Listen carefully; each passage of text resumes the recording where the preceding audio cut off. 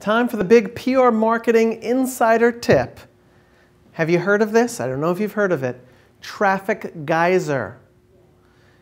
And there's a link in the description of this video. Traffic Geyser. It is a system a program. It has a monthly subscription. I don't own it, but I've used it and I think it's terrific. And it will take content that you put together.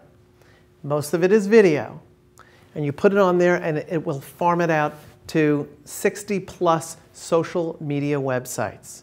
And that will bring you up in the search engines and will point traffic towards you. Talk about results. Talk about what it is you're looking for, which is more people knowing about you. Isn't that the whole idea of public relations? Investigate it. I think it is an unbelievable tool.